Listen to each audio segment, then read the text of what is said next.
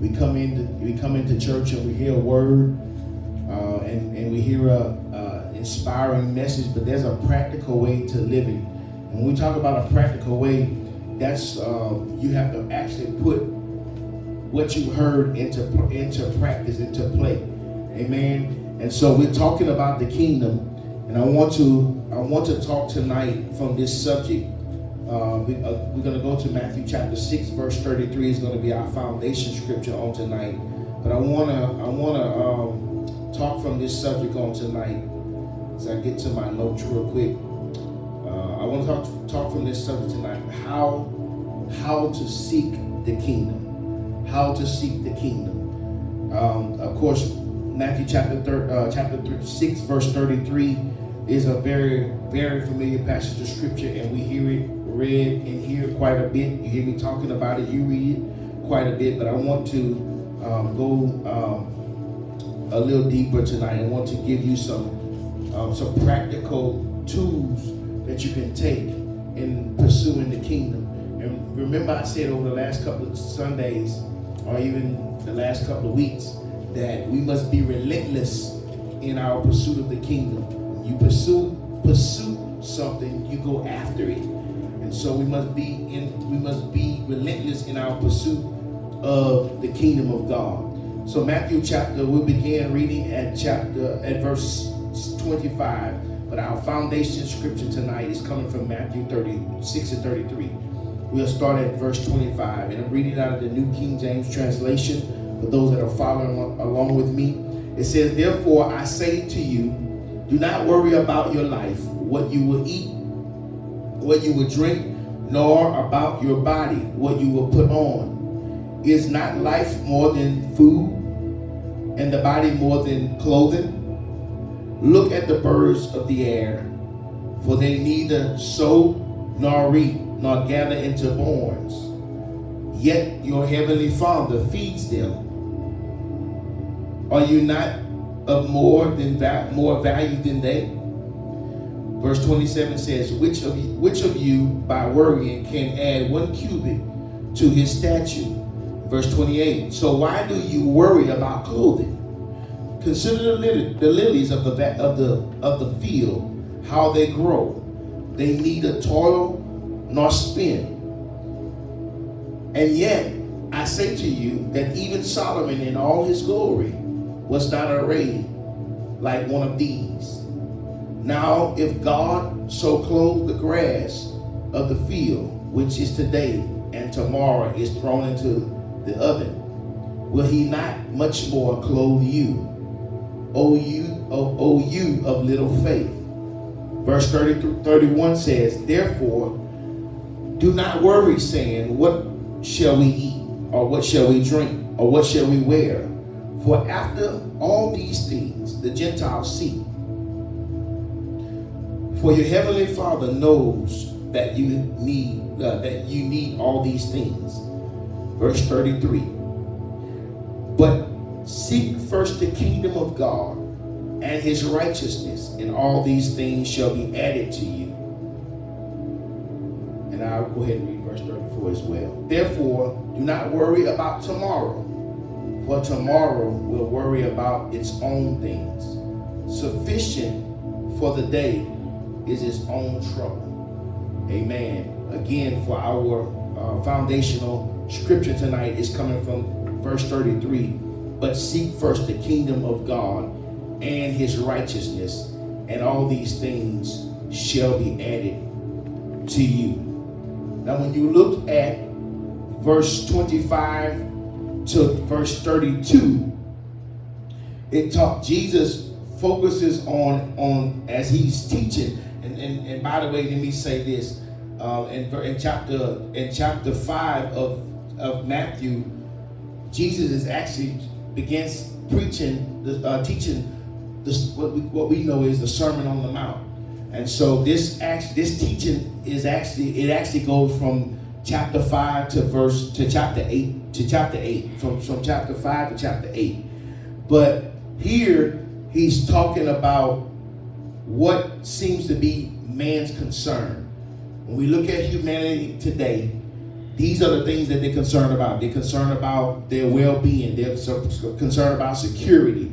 They're concerned about money. They're concerned about all of the things that Jesus listed in uh, Matthew chapter verse 25 through 32. Those things are the things that he said the Gentiles seek. Now, when you think about when you when you read study up on the Gentiles, the Gentiles were um, they were not God's chosen people. The Jews were, but because the Jews were so stiff-necked and hard-headed and seemed to uh, not see that God was making their life better, he made it visible and made it possible for the Gentiles to enter into the kingdom. And that's what we all we all are. We are a part of that Gentile community where we have been grafted in. And Paul talks about that in his writing. So when Jesus speaks of the Gentiles, that's what he's speaking of, those that are outside the kingdom. So he, he talks about those things that are a concern for people. And so he goes on to say that um, after all, after saying all those things, he said, but it, for those of you that are in the kingdom of God, there are two things that you have to be, that you have to focus on. Two things. So instead of you focusing on food, clothing, shelter, um, uh, your career, and all that, he said there's two things that you need to focus on. He said those two things that you need to focus on is first, seek the kingdom of God, and second, his righteousness. Now, obviously, they're two, they don't mean the same thing because we see the and there, okay? So we see that he said, but seek first the kingdom of God and his righteousness. So let's look at these three keys. There are three keys that that, that can simplify your life. Now let me say this because this is a practical teaching tonight. When we talk about practical teaching, that means we're, we're taking what we're learning tonight and we're putting it into practice. See, it does us no good to read the word and we don't put it into practice. Right. So I want to give you some practical teaching on tonight on how to seek the kingdom. Because we hear seek the kingdom, but how, Pastor Tony, do I seek the kingdom? So I'm going to give you some tools tonight that you can take home. And you can, so if you're taking notes, you can write this down. If you're using your phone, take notes, you can do that as well. But there's three keys that, and it's, it's maybe more than this, but there's two, three keys that really stick out that can really simplify your life. The first one is priority. Priority. And if you want to, if you're looking for an acronym, it's POD, P-O-D, POD, P-O-D. So the first one is priority. When we think about priority, we think about what order, right? What, what, what we put in order, arrangement. And then the second one, the second key is organization. Organization. Now we're talking about simplifying life. You know when life is, when you make life complicated, guess what you invite in? Mountains of stress. When you make life complicated. But do you know these things that I'm giving you can make your life simple? You can simplify life, your life and you can eliminate stress by doing these things. So the first one is priority. This is, a, this is putting things in proper order and then organization. What is important? Think about something being organized. You organize things according to what is important, right? And then the third thing is discipline. That's a big one for us, right? Because we can start out, we can start something and do so well. We can start out of the gates and start out of the starting block so well. And before we can get, before we can get on a on a, a, a, good pace, get a good pace going, we're, t- we're tired, we're worn out. And so discipline is self-imposed restrictions. So what are you, what boundaries are you setting for your life? What, what boundaries are you setting? We all need to set boundaries for our life, correct? What boundaries are you setting for your life? So priority. So how do I prioritize my life? And all this is to tie in, so just follow me. How, how do I prioritize my life, put things in order? What is important? Because a lot of times, a lot of times we, we put so much time and energy in things that are not important. Time and energy in things that God has not signed off on or ordained. And it causes unneeded, unwanted stress. Amen? Have you ever had unneeded, unwanted stress? Amen. And I guarantee you, if we put these things into play, our life, our days would be simplified. If you could simplify, forget the whole month. If you could learn to simplify your day, if we could learn to simplify our day, can you imagine how much easier life would be? I was talking to my pastor on yesterday, and I was telling him, I said, that'd be a good sermon. He said, man, he said, it'd be nice if we could just live a, live a drama-free life. He said, a drama-free life is the best life. I said, that'll preach right there. And it's true. But how much of the drama is on us? How much, how much of it is on us? How much drama do we invite in our lives and do we cause? So how much of it is us? So I think it's this is so befitting because we're in the second half of the year. And you know you notice this time of the year, people start getting kind of tired. Kind of start getting exhausted. Not everybody, but some people do. And their light start flickering. It ain't going out just yet. But it's flickering. They struggling. They like, man, every then they got to blow on it to get it going. So how many people this time of the year are just kind of burnt out? They're tired. And they wonder, man, my first five months was just like, as they would say, hell on wheels. But God, I, I was praying earlier and I said, Lord, send a surge of refreshment on your people. But when he sent it, what you gonna do with it? What you gonna do with it when you get that second wind? Are you to capitalize on it? What are you to do with it? So how do I prioritize my life? What is important? First of all, you got to know all what you got going on. And some things that you have going on, this is not of importance right now. It should be at the bottom of your list. But what is important? And then how can I organize it? How can I organize it? And discipline myself. This was the disciples, the, the disciples' job all along was to follow Jesus as students, and he was teaching them how to be how to be to live a disciplined life. That's what a kingdom living is all about, living a disciplined life. And look at uh, again Matthew 30, 6 and 33 says, to, but seek first the kingdom of God and his righteousness, and all these things shall be added unto you. Jesus taught these two priorities to seek the kingdom and to seek God for righteousness. Uh, let's let's break those two things down. Now, to seek means to what? Pursue. But also to seek means in our in our uh, from our uh, understanding, to seek means to study.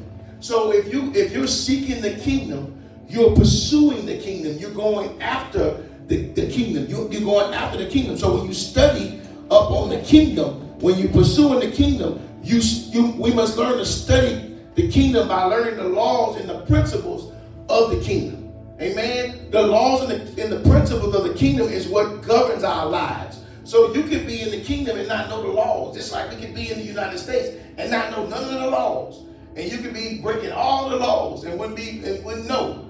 So the kingdom of God is governed by laws and principles. So when we pursue the kingdom, we are in pursuit of, of, of God's laws and his principles of the kingdom. We in pursuit of God's mind, his heart, his character, how he wants us to live in the kingdom of God. And so that's when we pursue his, when we pursue him, then all these other things will come. Pursue him, and then Jesus said, and his righteousness. Now let's talk about righteousness. Prophet Pamela gave a prophetic word, I think last Wednesday on the call about getting in position.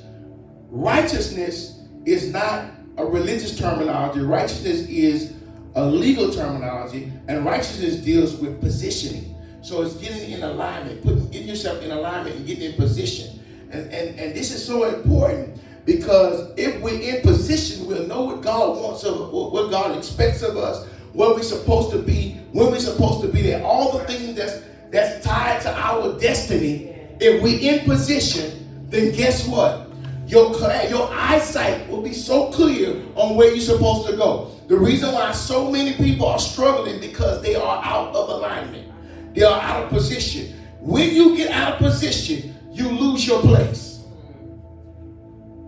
You know, you know, when we were coming up, you get in line at school and you got out of line, guess what? You lost your place. No need coming back up, get fussing I had that spot. You got out of line. So we got to re, we got to put you replace you. Thank God he's not like that. Thank God that if you get out of position, you can get back in position and get and, and, and pick up from where you left off. That's so awesome about God. But alignment deals with positioning. And this is so important because if we're going to live in God's kingdom, we need to be in alignment with God. So, how do we get in position with God? Remember, this is practical teaching tonight. We get in alignment by studying His Word. We get in alignment by spending time with God and spending time with God in prayer and making your prayer life relationship based and not religious based.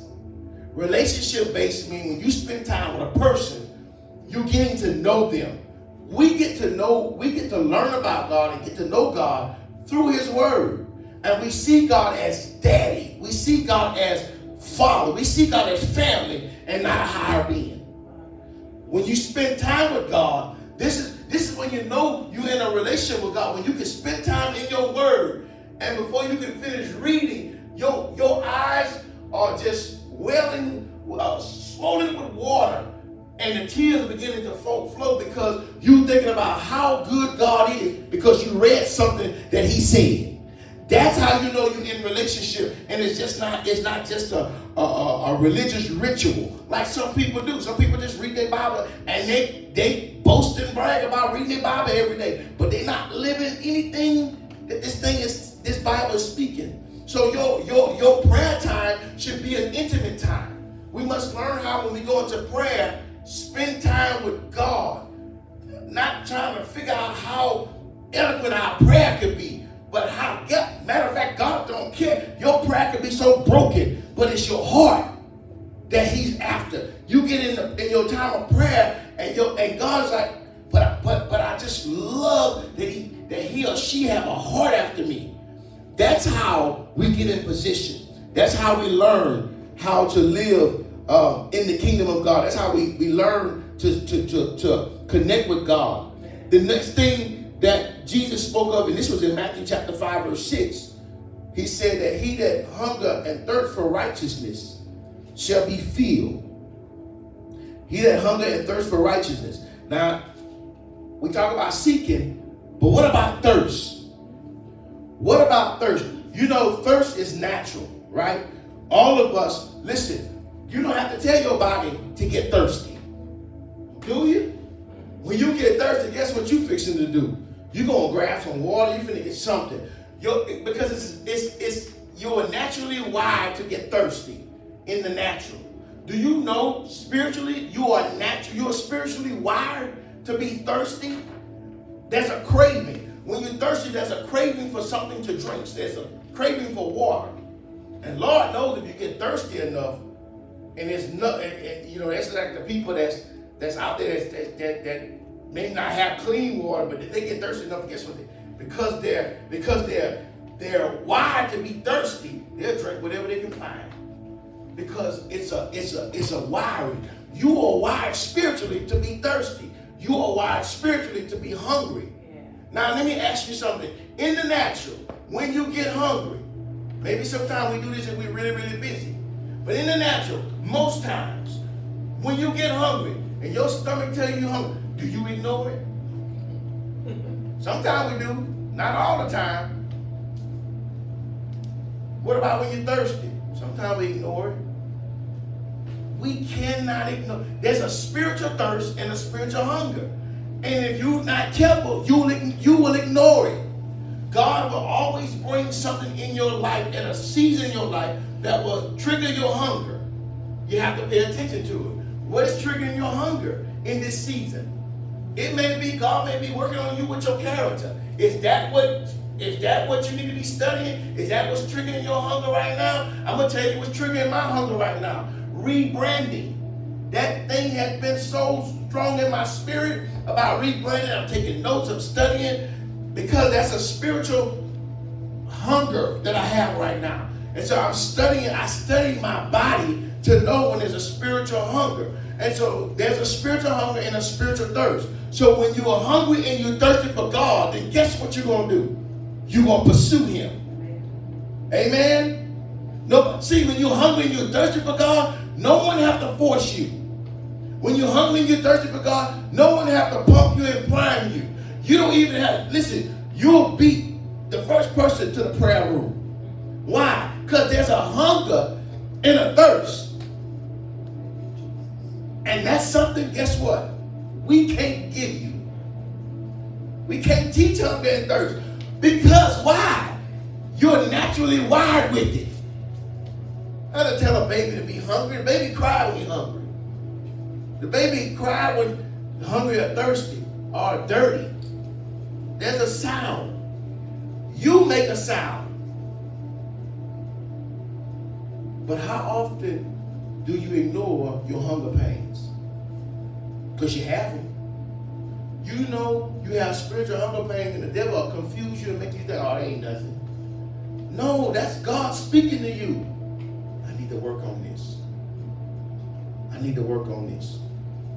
So the thirst and the hunger is not just a natural thing, but it's also spiritual. It's a craving.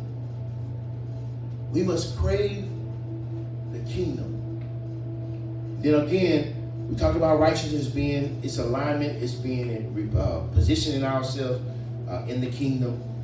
And when we when we position ourselves, when we properly position ourselves in the kingdom, this is what we gain. Number one, wisdom. You gain wisdom. You gain the wisdom of God, not man's wisdom, because man, God's wisdom will always override man's wisdom. But we gain the wisdom of God. Number two, we gain direction. How many people need direction? We all need direction. You need the wisdom of God. You need direction. And then number three, instruction. Direction and instruction are not the same thing. Direction is where you're going. The instruction is how you do it or what, you, what to do. That's your instruction. What do I do? Okay, I have the wisdom that God is telling me to do this. God is speaking to me to do this in this season. Now, next, where do I go? And God said, I want you to do this in this season, and this is where I want you to go. And when you get there, this is what I want you to do. So Moses, the people are thirsty. Listen to me carefully. The people are thirsty. And so God said, I want you to go to this rock, and I want you to take your staff, and I want you to strike the rock. So he get the wisdom of God, he gets the direction to go to the rock. See how important it is to be, to hear God, know where God wants you to be, so you don't miss your blessing. He said, go to, go to the rock, and the instructions were strike the rock with the rod. And when he struck the rock with the rod, guess what happened? Water came out. Then he spoke to him another time. That's why you have to be careful in season. Because every season, God don't speak to you the same. And the wisdom he give you may be different. This time, he said, Moses, go to the rock. That's the wisdom. Here's the, here's the, here's the direction. Go to the rock. Now, here's the instruction. Don't hit the rock. Speak to it. Seems sound, sound, sound similar, right? Probably went to the same rock, but the instructions were different. How often we try to do something in another season with the same instruction from last season? You know why we do that? Because we didn't hear God. We missed him. We missed him. Now we guessing. Now he hit, instead of him speaking to the rock, he hit the rock again. Because you know why? He got results last time. That don't mean you won't get results this time. He didn't get results this time. Why? Because he was disobedient. So how, how, how do we expect God to bless us when we disobedient? So he hit the rock. He spoke to the, uh, he hit the rock again. And guess what? He was operating out of the will of God.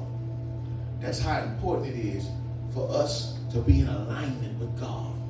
Because if you're out of alignment with God, you can miss God in a season. It's just that tedious, y'all. And let me say this to you. The closer you get to him, the more detailed the instructions become. You know why? Because you, you start to develop a trust with God. And God began to develop a trust in you. And so now your assignment become greater. So that means your hearing must become greater. The closer you get, the closer you in tune. See, when we always just think about God, God is being from, from me to this door where, where Jalen is sitting. Now he's a distance away from me. So he speaks to me, I can hear him. But as I keep getting closer to him, the sound become clearer. Y'all follow me? That's why you need to get closer to God. Because the closer you get, the more clearer you hear him. You go from, I thought I heard him, to I know I heard him. That's the difference is how close you are to him. The closer you are to a person, the clearer you hear him. The further away you are from him, you start to guess it and you strain to hear. The closer you get to him, the clearer the instructions become. You want clear instructions in your life? Get closer to God. Simple as that. You want you want you want more clarity? Get on your face, get closer to God, and watch Him speak to you. Is that making sense? We must seek to do His will, not our will. You know you have your own will, right? We fight that every day, right? You fight your human will and God's will. And God's will will always override human will. Thank God it's right. So the way you get things, the way you get things is being properly positioned. So when he says, seek first the kingdom, you pursuing God, let's just uh, review this. We're pursuing God, we're getting in position, and he said, when you pursue him first, and pursue him in everything, let me, let me, let me say that, not in some things, and pursue him every day, every moment. And every time you pursue God and you get in position, then Jesus said, then these things will be added to you. What things? The, the list that he just named your, your, the clothes you worry about, the shoes you worry about, the job you worry about, all those things become to be become a blessing and it overtakes you. This is what Deuteronomy chapter 28 talks about. But Jesus said, in order for that to happen, you must be relentless in your pursuit of God. When you pursue God and you get in position, wealth will come to you, health will come to you, passion, joy, peace, fulfillment. There's so many people looking for fulfillment. You know your true fulfillment is when you get in God's kingdom and live a kingdom life, that's when you truly fulfill. How many people you know that's not fulfilled? And let me say, it has nothing to do with age. Because you got people that's well up in age. They'll tell you, I've been saved a long time. Thank God the kingdom ain't based on longevity. Because everybody think they got it made then. I've been saved 20 years. You've been saved 20 years, but you're in the same place. I mean, I'm not understanding. You've been saved 20 years. You in the same place. And I'm going to be inspired by you? No.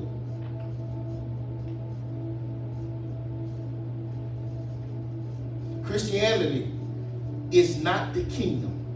We talked about that last week. Christianity is not the kingdom. Christianity is a religion. Christianity is not the kingdom. It's a religion. And that's why you can be in Christianity and not be fulfilled. You got people that speak, I'm a Christian, I'm a Christian, I'm a Christian. They're singing off the rooftop. But when you see them, they always sad.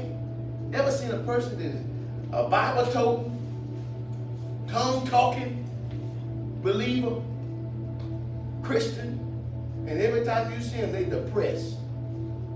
Like, is anything on they depressed, they negative? That ain't kingdom. That's not. That's not the kingdom. You got a religion, but that's not the kingdom. So Christianity is not the kingdom. The kingdom is a government. It's a government. So the kingdom of God brings wholeness into your life? How many want to be whole? I don't want to be half. Can't do nothing but half. I need the whole thing. I don't want, listen, it does me no good to have a bank account full of money, Jalen, and I'm sick. I need the wholeness of God. I want the wholeness of God. So Jesus was saying to the disciples, you know what? This is all the things, verse 25 to 32, this is all the things that the Gentiles seek after. So he said, this is what they go after. But the people that are in the kingdom of God, they got two priorities. Seek first the kingdom and get in position. Yes. And when you seek the kingdom first in everything, you that means he would not says talk about seek the kingdom and finance. He said keep the kingdom in your family. You need you need God to be a, a better mother, a better uh, a better father, a better wife, a better husband, a better in every level, every every area of your life. You need to seek God's kingdom. And he said, when you do that and you get in position, he said, everything else is going to be added to you. As a matter of fact, you don't even have to ask for it. They're going to call you. Y'all, the Bible don't lie. How can you obey God and live by God's laws and principles and not prosper? It would make him out to be a liar. And Numbers 23 19 tells us that he's not a man that he should lie. So all we got to learn to do is seek the kingdom. But we don't talk enough about it. We talk enough about other things. But, but if I could teach you how to pursue God's kingdom, don't just preach a good message on it. How can I pursue it? And you start putting these the, the, the, the kingdom laws and principles in place. Y'all, success is inevitable. It's not even a debate. The results just gonna follow you. Yeah. And then they ask you, well, why does this keep happening to you? Because I'm, I'm applying this. I'm applying what they tell me to do. You, you, you cannot apply, look, you can't take a cake box with the recipe and do everything that the, the cake box, the recipe called for. You do everything. Don't miss one step. And that cake don't come out right. And you can be a person that say, I ain't a baker, but you can follow instructions. That's what God is saying. He's saying, listen, it's not complicated. You make your life complicated. I didn't, I didn't make it complicated. You made it complicated. He said, here it is. I'm giving you the recipe. One, two, three. If you follow one, two, three, then your life will be blessed. If you don't, and it don't work out, then it's not my fault. And then we quick to say, oh, that's God's will. No, it's not. You hard-headed. and you stubborn. And you won't listen. And, and they told us when we were coming up, a hard head make what? Come on. There had to be some truth to that. That ain't, a, ain't even a proverb in the Bible, but it probably could have been. Because y'all know we heard it. In other words, what they were telling you was, go out and do it if you want to. I'm telling you, if you do it, what's going to happen? Now, if you go do it, you on your own. That's what God is saying. I'm giving you the recipe for success, but you choose your own path. That's what he's saying. How many people choose their own path? And the Bible clearly tells us the way of a transgressor is hard. When you transgress, you mean you go your own way. I mean, to the top. you mean to tell me God said, do this? And if I do this, this will happen.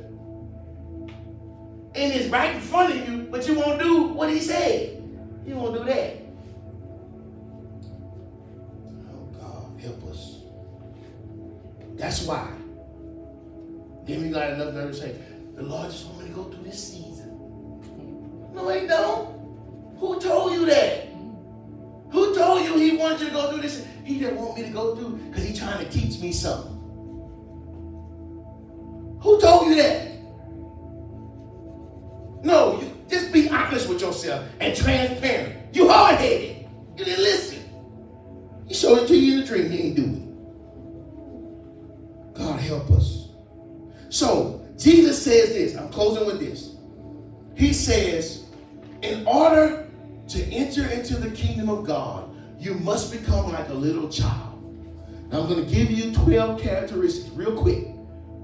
12 characteristics of a child. And y'all can nod your head if you agree with them or not. But I agree with every, all 12 of these as I was doing some studying on this today. Because you think about it, I want you to think about a child, a little kid. A little kid that have not gone through any experiences in life. This is the characteristic. This is Jesus said. Jesus said, this is how we got to come into the kingdom. You know, you know, number one, the first the first characteristic of a child is dependency. A kid depends on their parents, right? They, de- they depend on their mother or their father, right? They depend. They, they, they depend on, the, on, on their parents. One of the greatest threats to the kingdom is to become independent. When you don't need God, and you take God, you don't need Him, your life get hard. Nothing else to say. Your life just get hard because you're apart from God. And then the next one, number two, simplicity. Kids like just like stuff. This makes things simple. We make things difficult and hard. You, you, you study a kid. We got teachers in here. It's just, just simple. Don't take a whole lot to please a kid. It's simple. Most of them anyway. Right, they hadn't, that's exactly right. If somebody hadn't gotten to them.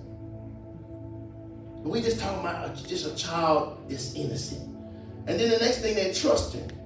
You ever have to tell a little kid, you know you gotta tell a little kid, now, now, we don't talk to strangers.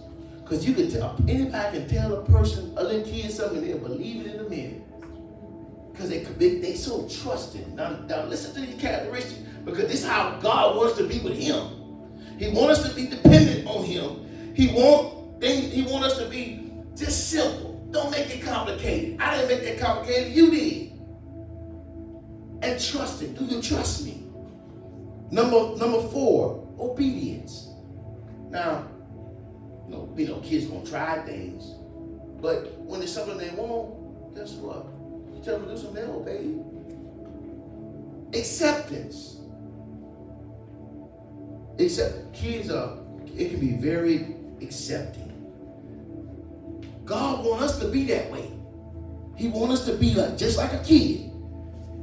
Expectancy, that's a big one. They expect things. Don't tell them you want to do something and don't do it. That's gonna be that tied to the next one too. So expectancy. Number seven is transparency. Children are very transparent. When you agree, They'll tell you if something ain't right with you, they gonna tell you. And you have to kind of like, don't say that. They'll tell you out in public in front of everybody. And think it's okay because they're innocent. When somebody's innocent, they don't know no better. They just think it's oh, that's just my character, that's my human nature. God is saying, I want you to be like that. I want you to be so transparent that you know this is this is your spiritual human nature that I'm gonna take care of you. That's number seven. Number eight, moving quickly. Innocence. I just talked about that. They, they got an innocent characteristic about themselves. Children. And faith. Man, children got mountain moving faith. You can't tell a child will just believe they believe they can fly for bills.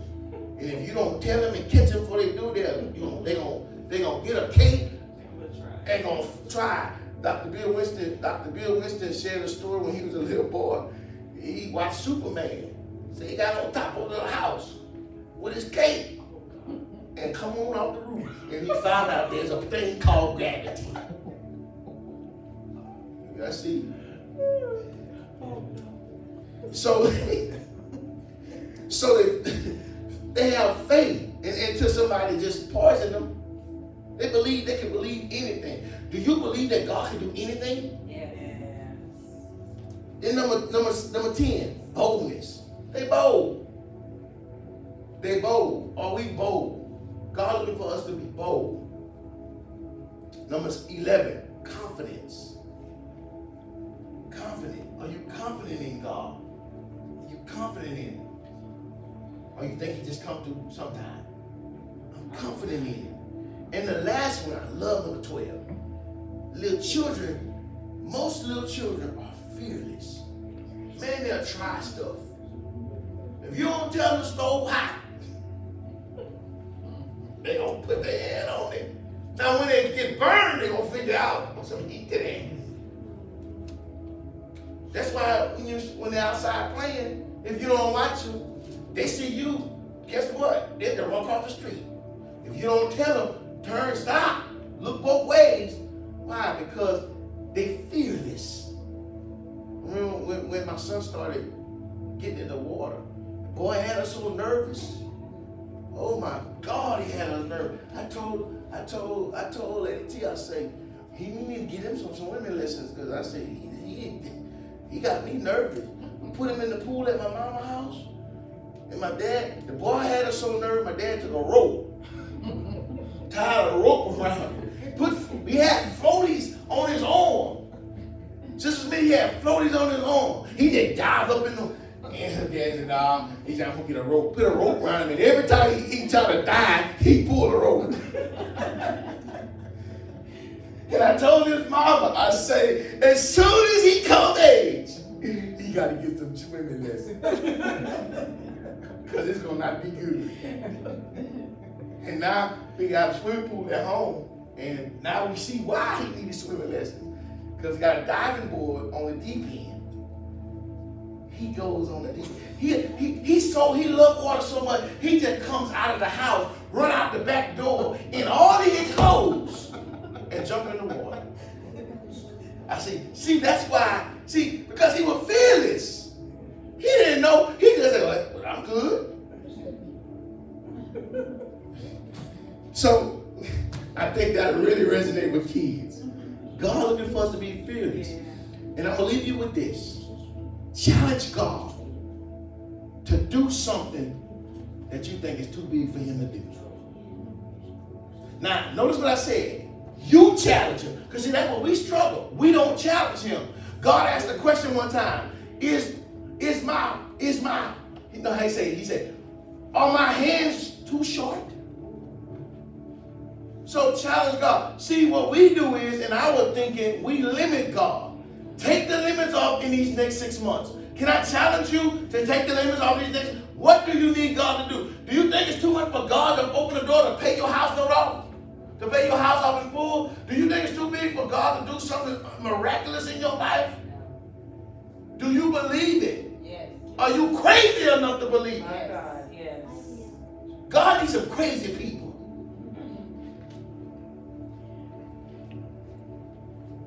I'll be one. Anybody want to join me? But look the hands. It's the only time you can call me crazy. Be crazy for God. Because I, because you know what? I'm just crazy enough because he gonna do it because I've seen him do some crazy stuff. Have you seen him do some crazy things? Stuff that just won't make sense to the natural eye, to the natural ear, and they look at it like, how in the world that happened? You, are you something wrong with you? You gonna go get a building? With what? What you gonna do? Because God told me to do it. Because he's crazy. He needs some people like that. He needs some people like Moses was Moses Moses wasn't right. Paul wasn't right. But God said, I need him. He need us. Come on, stand with me.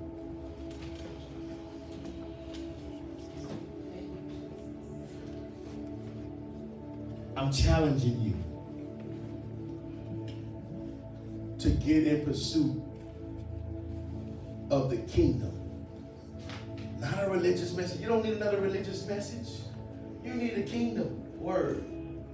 Study God's word. I get up in the morning and say, Lord, I want to learn more about your kingdom. I need to know about your kingdom and how to apply these laws to my life. Every law to my life every Lord of my life. Do you know that a person in your family that you're trying to win over to Christ, if they don't see the fruit in your life, do you know they're not interested in the God you know? Why you don't want to come to church with me? Because I'm looking at your life. And you ain't got a whole lot going on. So if you go into the church that you go into and you want me to serve the God that you know, and I'm looking at your life, I'm in the street and I'm more happy than you. That's a problem. That ain't that ain't no that ain't nothing to brag about. That's something for us to go back in our prayer closet, Lord. Do I look that bad? It ain't that bad, yeah. But when you living in the kingdom, guess what they gonna come do? After a while, they gonna either go get tired of you talking about your blessings and knock on your door and say, baby, you've been telling me this all along. I didn't want to hear it before, but I'm getting sick and tired of you. Every time I look, you posting what the Lord has done for you. Every time I look, you telling me what the Lord has done for you. And I want, I want a piece of that. Now I got your attention. Yes, Guess what? You didn't have to say nothing because the results is what pulled them in. Thank you, Jesus. Thank you, Lord. Yo, if Works was doing it, every time I, every Bible, as, the old folks say, every Bible toting person will get you saved. But if anything, they run it the other way. But when I look at your life and I see the fruit, and I'm like, man. And then they start thinking, the Lord love her a little more than he love me? No. But you know what happened? I got a relationship with him. You can have one with him too. Come on. Yes. That's what that's what it's all about. Because let me tell you something. What I'm learning now in the word, if you broke and I'm broke, guess what? We can't help each other. We can sit at the table and complain. Let's let's put our bills on the table and all our stuff. Girl, you got more than me. But when I said, I said, hey, no, I got, I got, here, here's the here's the recipe. And then everything started changing. I challenge you these next six months. We're talking about rebranding. I'm challenging you. Rebranding takes place from the inside in, inside out.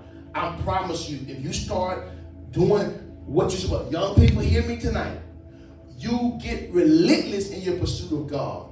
Watch doors swing open for you. You're not even gonna have to knock on them. They're gonna open for you. Challenge you. I challenge you. I'm challenging you all here that these next six months be relentless. Because I told you, I said on the call the other day, I said this on the call the other day because the Lord put this in my spirit so strong. He said, tell the people, if they get, if they become relentless in their pursuit of me, and six months from now, I'm going to introduce them to the person they never met on the inside. I'm ready. Anybody ready? Father, we thank you tonight. We thank you for your word. Your word is not complicated, but people can become complicated. Your word is very simple if we would just obey you. Even what we don't understand, but we know your word says that we obey you. You said that we be willing and obedient, we'll eat the good of the land. If we be willing and obedient, we'll eat the good of the land. Jesus said these words. He said, Seek first the kingdom and his righteousness, and all these things will be added unto us. God, all the things that have been a concern will no longer be a concern. They will follow us, they will overtake us. And I believe your word on today. We have no excuse after hearing what we heard on this morning, on this evening. We have no excuse. All we need to do is get in place and get on our face. I pray that every person under the sound of my voice, that you would ignite a flame in them that will cause them to be relentless in their pursuit of your kingdom. And as they pursue you and they get in position, you promise that all these things will be added. We thank you. We honor you and we praise you. I pray, Father, for those that desire to sow a seed on tonight, every seed that is sown on tonight, I, I command an immediate harvest on that seed as it go into the ground of your kingdom, God, that it will bring forth 30, 60, a hundredfold return And we speak to the north, the south, the east, and the west wind and call in our harvest. And then it would come in not many days from now. In Jesus' name, amen. Amen. Real quick, we're gonna get a uh, we're gonna get an offering. You can just just um, let me grab it real quick, and uh, we're gonna let you get let you go.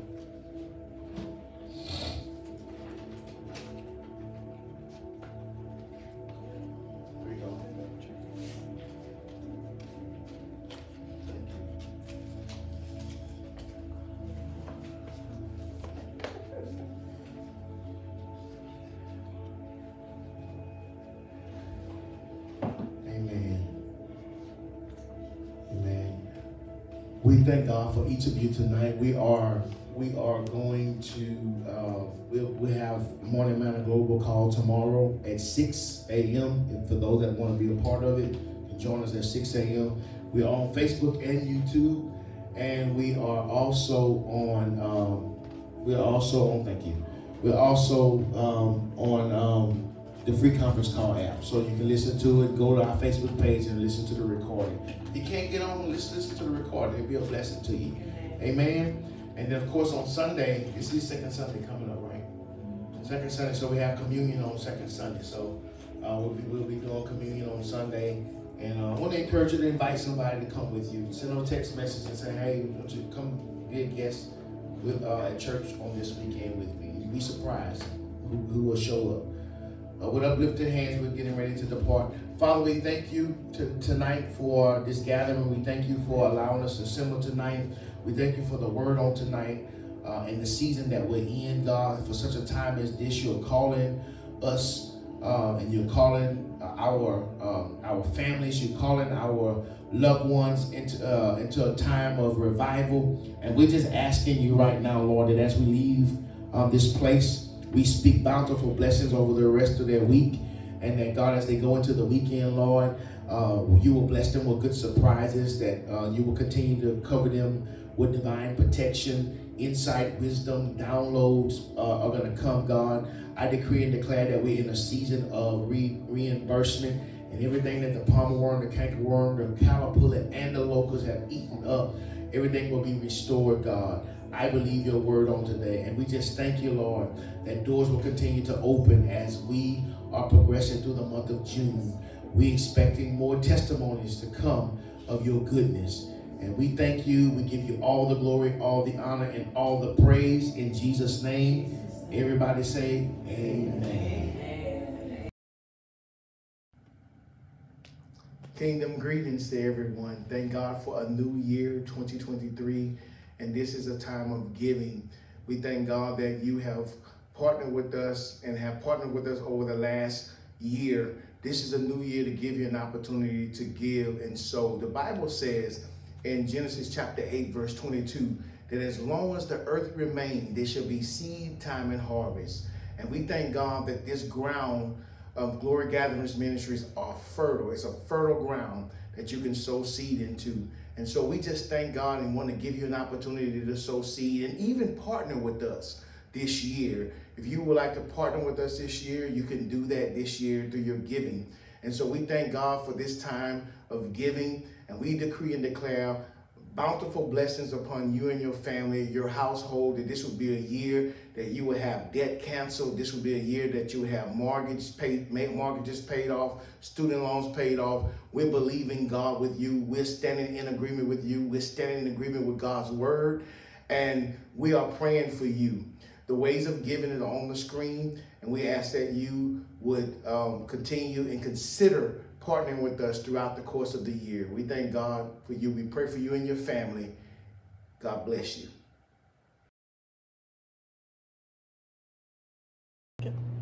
Kingdom blessings, everyone. Thank you for joining our service on today. Whether you were in person or you joined us on live stream, thank you for your continued support.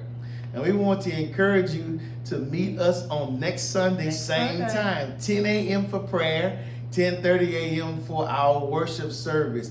You will not be disappointed. Please invite someone to join you on next Sunday, same time, same place. We speak bountiful blessings over you week. May your week be filled with good surprises. Amen. Blessings.